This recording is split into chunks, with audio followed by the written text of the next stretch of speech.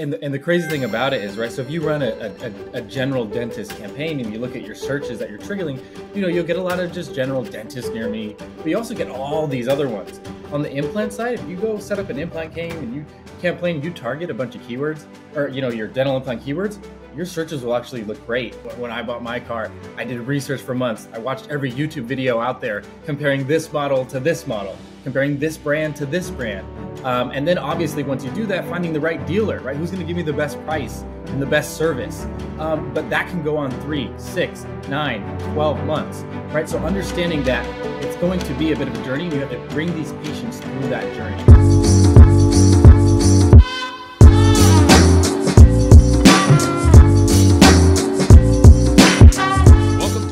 Episode of Full Arch Advantage podcast, where we talk about all the technical things you need to do to be successful and having more full arches coming into your offices. And we really, really dive into the weeds. And today you're going to enjoy this episode because I get somebody to, I get to talk to somebody today who I work with closely on a daily basis.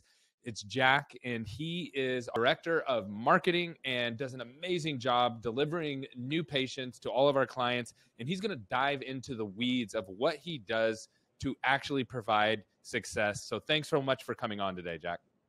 All right, Jack. So, why don't you tell me about some of the misconceptions that are out there about attracting more full arch cases to offices? Yeah. So, I think the there's a couple, right? There, there's there's quite a handful. Um, and I think one of the biggest areas that we see just really just miscommunication or just you know a miss as far as what's needed is thinking that you know you've built a successful GP practice or you've done marketing one way and that that is how it's going to be for full arch not realizing that you know the average treatment around for these GP patients is anywhere from three four five hundred dollars up to like a thousand twelve hundred dollars whereas on the mm-hmm. full arch side you're starting maybe be on the low side, fourteen, fifteen thousand dollars. And so yeah. your marketing for those patients is going to be dramatically different. And what you did to attract the GP patients is not going to work for these full arch patients. Um, and yeah, I can totally see. I can totally see that because it's a big dollar difference, right? So there's massive difference. It's like almost like selling shoes compared to selling a car. Exactly. You're yep. just they're not it's not the same it's not the same. Sorry to disrupt the show, but I just have a quick commercial for you. We are going to be hosting four events over the next 12 months and we're doing a little bit of everything for everybody. We have something around full arch. We have something for those that manage marketing. We have something for those that want to scale their practice at Dykema. And then also we have something next year that's for everybody in your practice to learn business skills and to really maximize the opportunities for you to grow your offices. You're not going to want to miss these. Visit smcnational.com forward slash events. These are going to be the premier events that you're going to want to go to to make sure that you're getting the tactical skills that you need to continue to grow the way that you want. Because at SMC, we're all about growing. Buying cycle. And so that makes a lot of sense for GP. What about for doctors who are doing full arch yeah. and they're getting tons of doctor referrals, but they haven't dove into like the internet marketing side of things?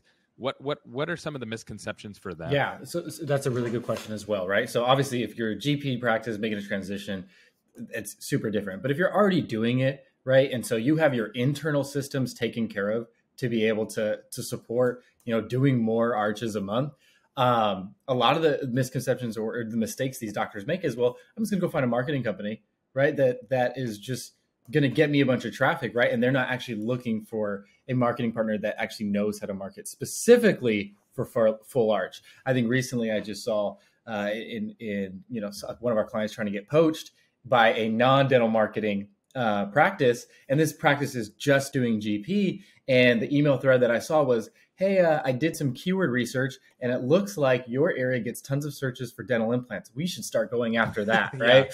yeah. um, and so yeah, th- there's a lot of searches. That's a lot of people don't realize yes. that one of the top keywords in dentistry is dental implants. Yep. It's right. It rivals with dental in dentist. Yeah, it actually if and and the crazy thing about it is right. So if you run a, a, a general dentist campaign and you look at your searches that you're triggering, you know you'll get a lot of just general dentists near me, but you also get all these other ones. On the implant side, if you go set up an implant game and you campaign, you target a bunch of keywords or you know your dental implant keywords, your searches will actually look great you'll get a lot of people that searching dental implant prices, dental implant near me, right? And so from a marketing standpoint, it looks great. Um, and so that's one of the problems, right? You'll get these marketers um, that don't understand dentistry and full arch, and they'll actually just try to do a, a, a bunch of PPC, right? Where you're spending $15 a click, $20 a click, wasting up these practices budget. And a lot of these people, because we just talked about a lot of the searches are dental implants, dental implants near me. But what they don't understand is a lot of these people are top of the funnel, right? So these are people who are just mm. starting out their um, their research, and so they're actually not ready to go. Whereas if someone searches dentist near me, they can make a decision today to go to your office and accept treatment. Whereas that's not going to happen with someone spending fifteen thousand dollars. Yeah. So so what I hear you saying is is that the buying because the buying cycles are so radically different, how you attract people is going to change. So in GP, what I know, and you can correct me if I'm wrong. So in GP, you have patients who are hopping online and in five minutes, three minutes, they're making a decision of what dentist they're going to. Where in dental implants, when people are hitting Google and typing in what are dental implants or should I get dental implants or how much are dental implants, they're really at the beginning of their journey and it might be a long time before they actually come in. So if you try to use the same approach uh, for GP that you do for full arch, it's just not going to no. work because the buying cycle is so much different. So then how do I if I can't attract the patients through you know that normal channel of just running ads and SEO and things like that, how am I going to get more patients from from online if I can't use those methods? Yeah, so it's it's all about uh, just under, first of all, it's understanding that buying cycle that we just talked about, knowing that a GP patient is is their buying cycle, you know, that happens in a week. They wake up with tooth pain, they can take care of it that day. They have the money for it, you know, uh, for the most part, and they, they can just go. They, there's not like any big decision they need to make. They're like, ouch, this hurts. Yeah. It's going to cost me. So it's a week for everything. Yes. It's a week for the search, everything. going into the dentist, getting the thing paid, getting their bill paid. Everything's done. Absolutely. Whereas on the flip side, on the full arch side, you have these patients that if you're just hitting them at the beginning, they may be looking for the next couple of years, right? I mean, uh, that uh, the, the, easiest way I like to pitch this to doctors is, I mean, think about your, you know, most people's decision to buy a car, right? Uh, when when I bought my car, I did research for months. I watched every YouTube video out there comparing this model to this model, comparing this brand to this brand. Um, and then obviously, once you do that, finding the right dealer, right? Who's going to give me the best price and the best service? Um, but that can go on three, six, nine, 12 months, right? So understanding that it's going to be a bit of a journey and you have to bring these patients through that journey. So you have to be able to have the assets and have the resources and campaigns that touch patients not only at each and every part of this journey, uh, this this uh, this buying cycle, but that also walks them through it. And then additionally, um, one thing that a lot of implant marketing and implant campaigns can do is you can actually drum up a lot of leads, just form leads, survey leads really quickly. But the problem is a lot of practices, and, the, and another mistake they make is they expect those patients and those leads that they're getting to all convert. And if they don't answer the first phone call, uh, that's it. I guess they, I guess they didn't, they weren't serious, right? I guess this patient was just a shopper, not realizing that all of these patients reaching out to you are going to be these shoppers. Um, and so you have to put the work in to be able to. Yeah, who buys a house? Who buys a house or a car without no, shopping? Right? Everybody, right? Everyone's shopping. They want to make sure that it's a big life decision, right? This is a major purchase. I think you know anything over a thousand, two thousand dollars is considered a major life purchase, and uh, consumers, right? If we just want to really talk about consumers as a whole, they're they're going to do their research when they're making a, a major life purchase. Um, and so it's making sure that you're able to be there for that patient, educate them, um, and be there throughout this cycle that they're having, right? Maybe you'll get a patient, you'll reach out to them, you'll get them on the phone, right? You'll have that conversation, but they're ready, they're not ready for the down payment. So you may need to be able to yeah. follow up with them in 3 months when they're ready. So let's so let's talk let's talk through that because I think this is a really good point. So so so far what we've covered just for the audience listening is that first of all you have to know where to go to attract people, right? So you can't just go to Google and just run ads like normal and so, well, actually, let's touch yeah. on that first. So, where do I run ads? Yeah. So, specifically, and, and, where we, we put a lot of our focus is on the social side. So, you're doing a lot of um, display ads, video ads, right? Uh, kind of explaining, because also with dental implants, there's a lot more education that needs to go into it. So, people just yeah. think everything yeah. is an implant, right? If you have missing teeth, there's also trust. Trust is trust and education go hand in hand because if I'm just getting my teeth clean and you have good Google reviews, then That's I'm going to go there. Right? But if but if I'm buying implants, there's a lot that I don't understand, and then I have to trust you because I'm going to buy from you and spend a lot of yeah, money. exactly. So how does that work on social media? Yeah, so like what what do you so exactly? you just hit the nail on the head, right? When it comes to GP, and if I'm just getting my teeth clean, I'm looking at the reviews, right? And that that pretty much does it, right? It's not really invasive, it's not even a surgery, right? They're just cleaning my teeth, and I can trust those Google reviews. Actually, what we've seen on the on the implant side is people don't actually care too much about your written reviews and your number and your star. I've seen practices killing it when it comes to full arch marketing with like 19 reviews, four stars on Google, right? Because patients they want to see a little bit more.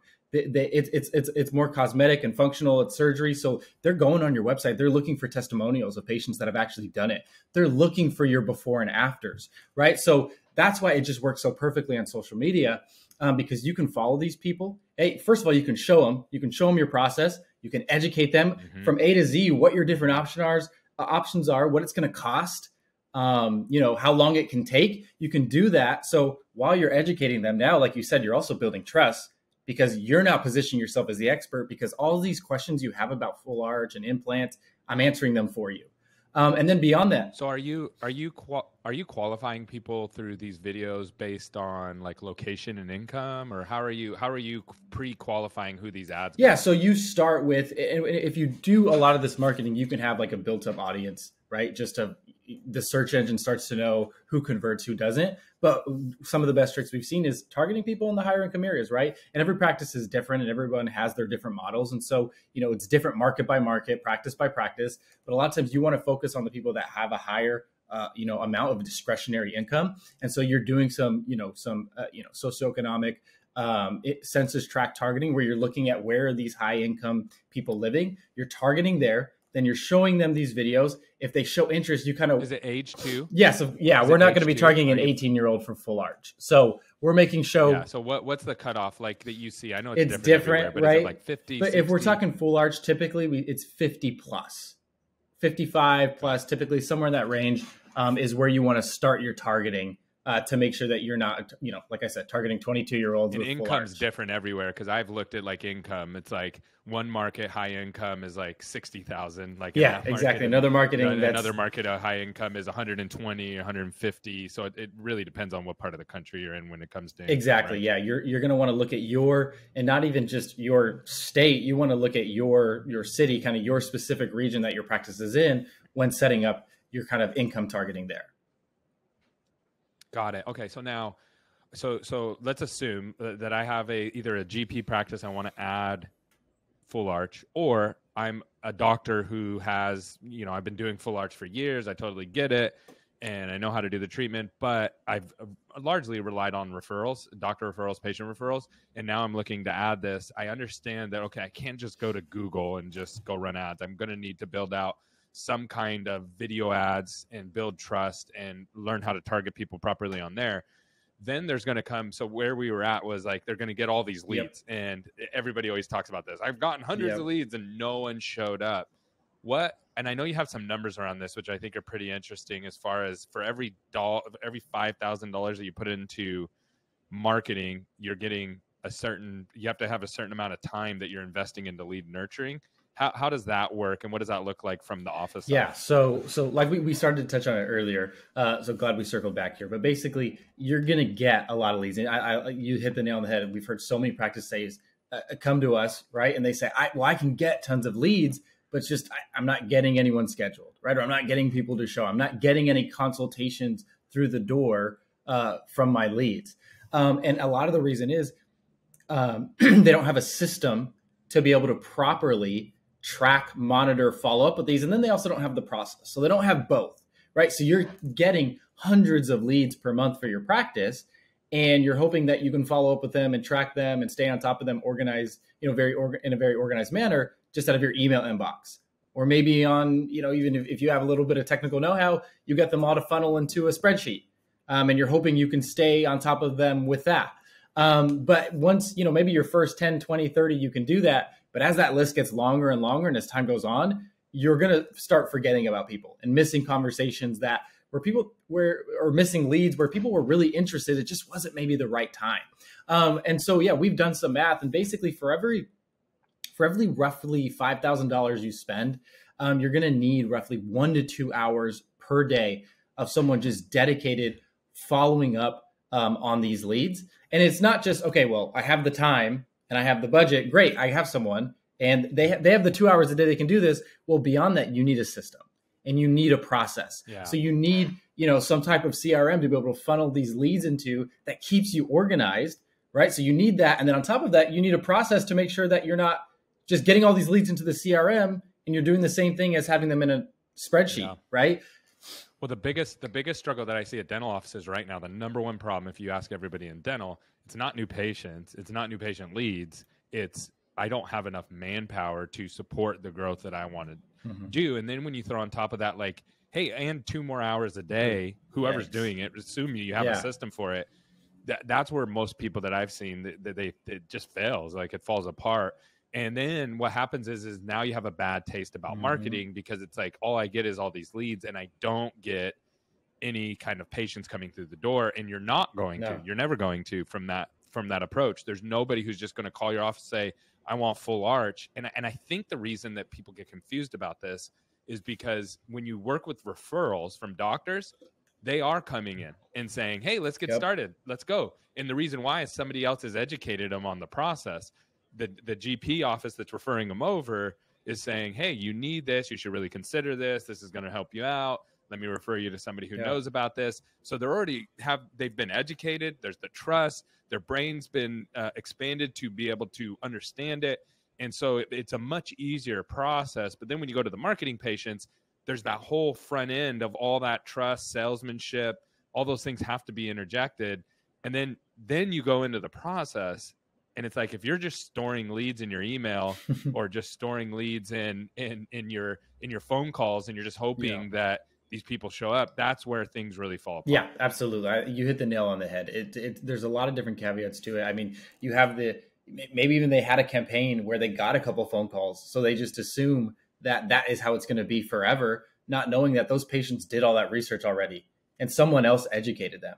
And uh, neglecting the fact that there's a whole other demographic and group of patients that are on that journey and doing that research for full arch and you can go you can go find them you can go capture them and you can be the one that's nurturing them. And by doing that and having an organized campaign to do that and then when they reach out having an organized system and process to keep that conversation going knowing that even though they went through that two months of research then contacted you they still may not be ready to go. So you may need to stay with this patient for another three six months until they're ready to schedule and and, uh, actually accept treatment and start. And so it is just making sure that you have those systems in place. It's really just organizational. Just as we talk through it, it's really making sure that you have an organized system for this patient journey, um, and knowing it's a different patient journey for these full arch patients instead of you know uh, rather than your referral patients or GP patients. Got it. Okay. Um, last question for you, and we just have a couple more moments. Um, where should I be targeting as far as like cost per start.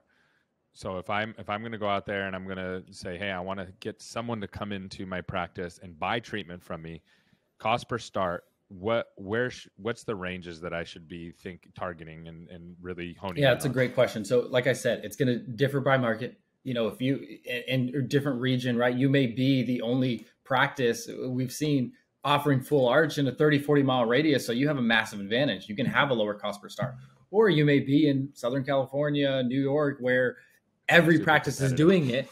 And so you have to do a lot more things to stand out, and your cost is going to be a little bit higher. But we've seen on the low side and just some really optimized campaigns where we have all these these systems that we've talked about in place. We can see it anywhere from you know, the low side of 1250 to 1500 and then on a recurring basis the high side anywhere from 2250 up to like 2750 uh, but that's very consistent that's month over month where you're doing, you know, 10, 20, 30 starts a month at those ranges. And it's really easy to scale and keep going. Yeah, I love that. And then the thing that I think to call out here is that the cost per start is not a marketing yeah, only number. It's a marketing plus operations plus clinical yep. plus treatment presentation. Like it's the whole system that you have from end to end working together to get to yep. that final number. Because you can have oh, amazing oh, yeah. marketing and nobody answers the phones it doesn't really matter.